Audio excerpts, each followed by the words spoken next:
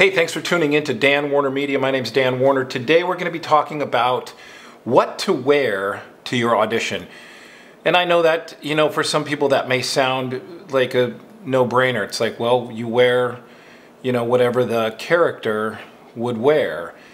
Yes. Uh, however, um, this is for all the lazy actors who uh, phone it in. Um, and you know who you are, and, and a, a lot of you are out there. And quite frankly, uh, everyone's done it from time to time, and that is gone, oh, good enough. Your wardrobe is important for a couple of reasons. One, it, it helps you. It helps you get into the character. Here's what the character would wear. Also, and I, have spoken to this before, um, you should rehearse not in your wardrobe. You should rehearse in your street clothes, your regular clothes, your casual clothes, whatever you're wearing around the house. That's what you should rehearse in. Once you're ready to do your self-tape, that's when you should put your wardrobe on. And that's pretty important because that changes your character. That changes how you react to things and how you read your, your dialogue, quite frankly. So, um, I am going to uh, do a little demonstration, a little fashion show for you uh, as to what to wear uh, on an audition, and then we'll talk about it later. And, and listen, uh, I was going to say that there's other things that that help. Um, with the wardrobe. One, it helps you get into character better. Two, it sends a message to the casting director that you care, uh, that you give a crap about this project. You know, if, if you're playing a doctor and you wear a t-shirt, no, no, don't do that. You're an ass. You're, you know, the, the casting director is going to look at that and go, this guy, this guy doesn't give a crap about, or girl doesn't give a crap about uh, my project. They're supposed to be a doctor. They're wearing a T-shirt. Don't don't do that. Um, you know, get as close to the. Listen, they always give you uh, a description of what the wardrobe should be. Sometimes it's a vague description. You know, upscale casual or casual or whatever. But put some thought into what you are, uh, what you're, what you're going to wear uh, for your self tape. Uh, it makes a difference. Trust me, it, it makes a difference. So it tells the casting director that you're serious and that you care. And again, they want to hire people who care about their projects.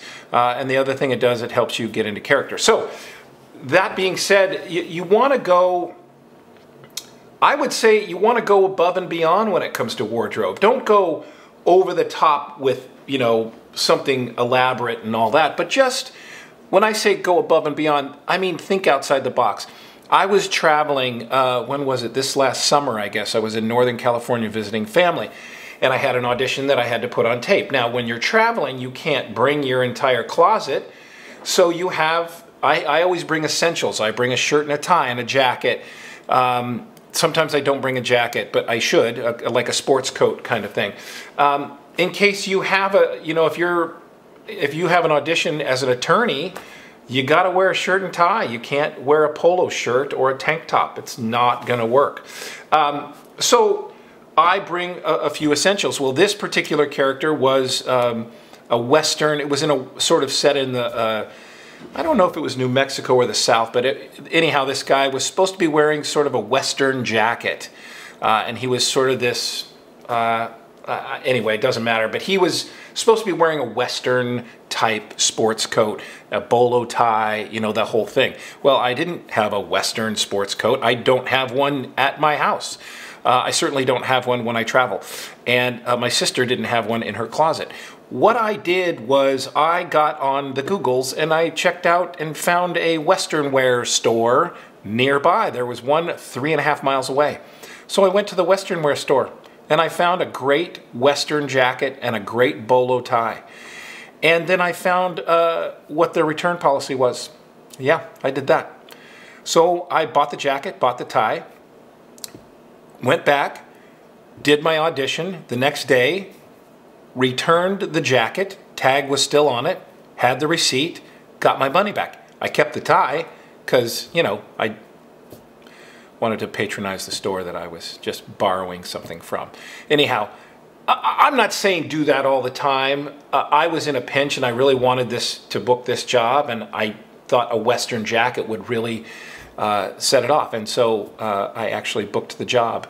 So there you have it, uh, thinking outside the box. Uh, maybe I should have kept the jacket. But it's an example of hey, you've got to figure this out. If you don't have the exact wardrobe, maybe a friend, maybe a neighbor, maybe someone has, you know, something uh, similar to what they're looking for. Usually you don't have to go crazy with, with wardrobe. Usually it's very simple. You know, you're wearing a, a dress or a skirt or a, you know, uh, shirt and tie, or, uh, you know, if you're a coach, you're wearing a polo shirt, maybe a whistle. I don't condone props, but little ones like that are, are fine. Anyway, so you got to think outside the box. I'm going to give you a little demonstration as to uh, what to wear and what not to wear and, and why and how and how it would look and why you should listen to me all the time about everything. So check this out. Okay, so let's talk about wardrobe. Now, let's say that I had an audition for uh, uh, a cop. Now, a cop is a very specific character, obviously. Uh, not everyone has a, a, police uniform or a cop uniform, but there are uh, there are uh, stores out there. All you have to do is Google uh, any sort of um, uniform store, and they will have they will have police shirts uh, for sale to the public. And obviously, you're not going to have the badge and all the all the right stuff, but you'll at least have the shirt. At least gives them an idea. You can also get stuff. You can get little badges that don't say police on them, but look like a badge or security officer badge and it looks pretty legit and it just lends credibility to your character. It also tells the casting director that um, that you're not phoning it in, that you went the extra mile uh, to get this uniform. So if you're playing a cop, you'd wear this, right? If you were a cop, you'd wear this. Easy enough. Got this at a uniform store. This is uh, this just says um, security. Like it's not, I went and had a name tag made. I bought this jewelry. It's a little antiquated. They don't use that anymore. But bang, instant cop. Way better than a t-shirt. Obviously I would shave. Uh, but there you have, there's that. Right? Wear that. Don't wear this. Uh, all right, the next one is, uh, oh, here's another easy one, and you can find it at any sort of costume store, uh, or you can order them online as a referee shirt. I get uh, referee auditions twice a year. I have, uh, right? Instant referee. So, you know, I bought this shirt. I, I, wear it twice a year. And listen, you, you get these things, you gather these things. Uh, you know, also now there's your Halloween costume. But twice a year I wear this and uh, I booked a Bose job uh, with Aaron Rodgers, probably because of my referee shirt. Yeah, so I bought a referee shirt and I use it twice a year. That's it. I'm not going to wear this. Uh, if I'm playing a coach, you'd wear this, right? If you're a coach, you'd wear this. Got a whistle. Again, don't need a whistle, but I have one, so I just throw it around my neck. I'd never blow it, but um, yeah, coach, instant coach. This or or a t-shirt like a gray t-shirt. Anything that your coach wore when you were in high school or college. Remember back, it's easy to remember. Google Coach on the internet. They'll give you plenty of examples. There's got to be something in your closet you can wear to make you look like a coach. Right, so if I am playing a doctor, uh, there's, a, there's a few different things that you can do. Usually doctors wear, you'd wear this. If you were a doctor, you'd wear this. Now, listen, I have a lab coat. You may not have a lab coat. You don't have to have a lab coat. Uh, lab coats are very inexpensive, however, and so, you know, you can just not wear the lab coat because this says doctor too. You know, wear a jacket, sports coat or something, but lab coats are, are very inexpensive, less than $20, I think, online. You can get a, a cheap lab coat. Just be careful with your lighting because sometimes it will blow out your light. It depends on your light. But um, lab coats are, they're great, easy to have, easy to own, easy to operate. Uh, you can roll your sleeves up, you can keep them down.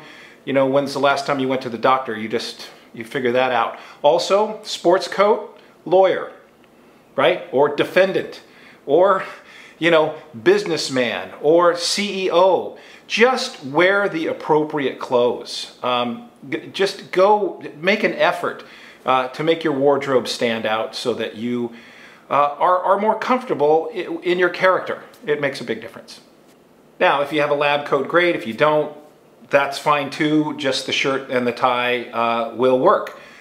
So, you know, don't wear a plain t-shirt or a tank top or anything like that because all these other outfits look fantastic and it tells the casting director that you're serious about being an actor, you're, you're, you're serious about your career, your craft, uh, and you're thinking outside the box. And I gotta tell you, there's times where the wardrobe will get you the job. They'll go, oh, they went out of their way to do this, let's call them in. Or at least for a callback. But they'll always remember you. So there you have it.